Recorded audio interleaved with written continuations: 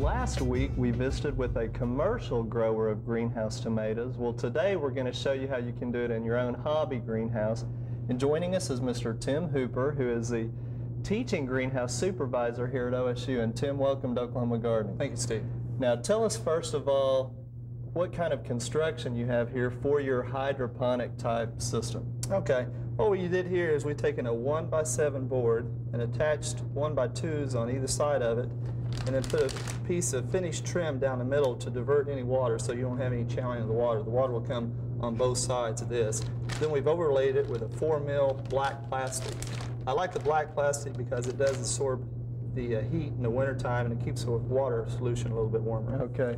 So the system, then you're actually what, pumping the water from the It's, back? yes, there's a, uh solution stock tank down there, and there's a small pump that pumps like one gallon per minute, and it pumps it up here, and it flows by gravity back into the tank. Based on the slope of your On the slope, yes, there's uh, cinder blocks under here, and it's elevated. Now we're going to grow cucumbers on this one, and tell us how you've started them and, and a little bit Okay. about the system with the cucumbers. This is the second crop of cucumbers we've tried. The uh, first one's uh, finished out, so we came in with this next batch. Uh, what we did is we started them in these little inert rock wool cubes in the greenhouse, and we soaked them with the uh, nutrient solution. And what we'll do now is we'll come in here and set this right on that divider underneath the uh, string, which will be used to train the uh, plants upward. Okay. Now on the cucumbers, what variety are you using? These are called Marlow. They're a, a European variety. They're seedless, they're burpless, and they're a thin skin type. They're real good for uh, greenhouse uh, production because they are self-pollinating. They're all female flowers, so they all pollinate themselves. And you just train them right up the just train. All we do is just twine them around. There. Okay. Now to get this started, show us how you would actually hook the plastic up here. Okay. What we do here is after we get this down, we have our line in place. We'll take the plastic and we'll just double it up, and we'll just take clothespins and just attach it. Just so far down here.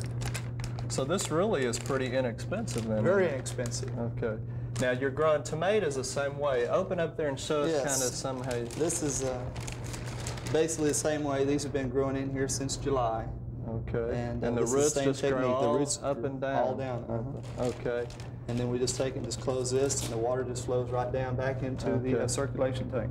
Now the cucumbers were self-pollinating. What about the tomatoes? The tomatoes are a different story. You have to come in each day and shake it or vibrate it somehow. Okay. Uh, some people use blowers. Right. And some people like use. uh, our latest uh, s- segment that we Uh-huh. did, she would actually use a vibrator. I noticed, and then she would come in and to make it a little bit easier, she would use a leaf blower and uh, pollinate them. So you just shake them. Shake them, mostly just shake them. The few I have, I just come in and shake them. All right, have pretty good luck with pollination, They huh? pollinate real well. Now, These- what variety do you, are you growing? There's three varieties here. There's Trend, Laura, and Caruso. Okay, Caruso. All right, now show us one of these that you've Okay. harvested. This one right here is a Laura variety, and it's a greenhouse tomato. Mhm. Uh, they're an F1 hybrid. All right, let's cut into that. And now, do you, you tell me they're pretty tasty, aren't they? I think they taste as well as any vine ripe tomato. Well, I know the wholesale one down there too. They tasted great. Well, the color's pretty good on them too. They're real meaty. Now that's the purpose of this whole system, obviously, is to get our fruit and everything. But the key to it is is this is easy, but the hard part is the nutrient mix in the water. Why That's don't you tell us how to get started on the very beginning of that? Well, I would recommend before anybody gets started in this that they're going to have to have a couple devices. One's a pH meter that measures the acidity or the alkalinity of the water. Okay. Do we need to start with the so, uh, water test then? Yes, um, through the county extension agent, you can take a sample of your water down, and they'll send it off, and they will come back with this uh, water analysis sheet. Okay. And what you're interested in is the hardness of the water. The calcium and then magnesium together make up the hardness of the water. And from this, you will have to calculate the amount of calcium nitrate, calcium uh, sulfate that you'll have to add to the water. Okay, let's let's make that a little bit easier to understand for the viewers and if they wanted to try this. Can we buy a soluble fertilizer to start with to mix it in? There are several companies that have marketed the soluble type fertilizer. Okay. You've got And one here. This is just a basic starter solution. You will have to go ahead and add the calcium nitrate, potassium nitrate, Okay. and the calcium nitrate and the Epsom salts to this solution. And hopefully the company will tell us the rates to Most, mix. most of the time that, and it's also a good idea just to go research. Most Okay. libraries have uh, information about Plus, this. this is becoming popular again in the hobby type setting, so there's a lot of references and resources out there, I'm sure, too. Yes, there are. Okay, now, on your tests that you need to do specifically, let's talk about how you do those. Okay. Uh, after we get the uh, water in the stock tank and we get the fertilizer solution mixed up, we take the pH probe and we stick it in the water and we adjust the pH accordingly. Uh, most pHs around Oklahoma are running real alkalinity, have high alkalinity, and uh, so we'll have to drop the pH to a desirable level, mostly Which around 5.8 to 6. And you're doing what to change it? Okay, what you're doing, that you're going to have to add phosphoric acid to lower the pH. The fertilizer solution that you have in the tank will lower it somewhat, but usually not low enough to get it down there. So you have to add the phosphoric acid in minute amount, like 10 milliliters per 30 gallons. Okay. That's- the size of this stock tank. All right. Now, with the fertilizer content in here, we have to be careful about salts. Is that Soluble right? salts, yeah. Um, there's also another meter that you need. It's called an electroconductivity meter, and it measures the amount of soluble salts that are in the water. If you get it too high, you burn the roots. If you don't, you get too low, then there's not enough nutrients to take up.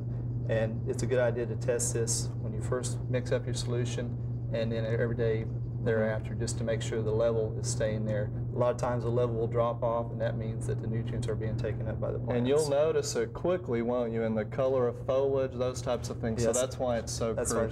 A good thing about this system also is you can change it. If you see that you're getting into trouble, you can readjust your fertilizers immediately. You don't have to wait. Okay. Well, now, Tim, in addition to the cucumbers and the tomatoes, you're also trying some uh, lettuce and carrots. Quickly tell us how you're doing that. Okay, the lettuce is just on a floating system.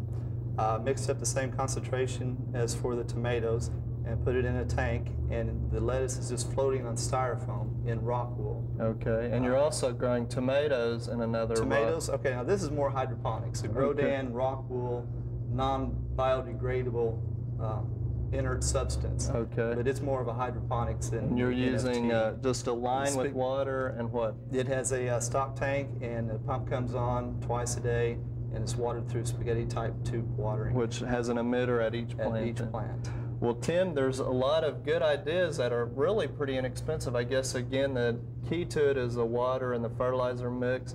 And if you'd like just more information on hobby greenhouses, you can go to your county extension unit and ask for fact sheet 6705, and that will give you company listings of hobby greenhouses, which a lot of them are starting to carry hydroponic products. Plus, again, a lot of the uh, horticultural magazines offer all kinds of alternatives. So, Tim, thanks for sharing your ideas with us today. We appreciate it. Thank you.